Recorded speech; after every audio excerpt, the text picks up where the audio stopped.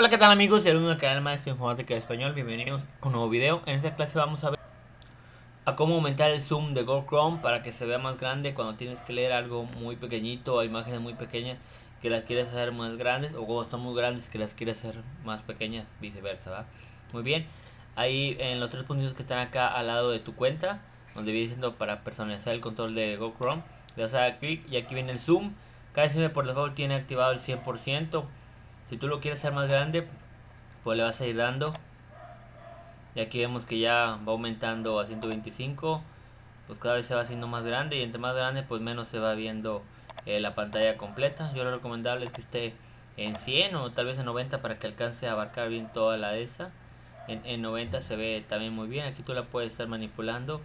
Aquí viene también para que le pongas en este caso tú la pantalla completa para cuando lo quieres reproducir en alguna eh, pantalla a través de cables HDMI, HDMI VGA, etcétera.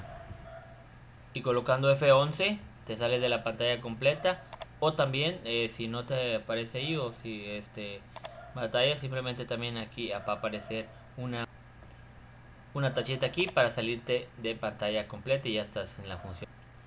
Bueno, espero que les haya les haya gustado. Nos vemos en el próximo video. Les saludo su maestro de informática y español. Saludos, ánimo, lo voy a poner nuevamente en el 100, que es lo que yo siempre lo utilizo. Saludos, que estén bien y nos encontramos en próximos videos. Ánimo, feliz inicio de semana.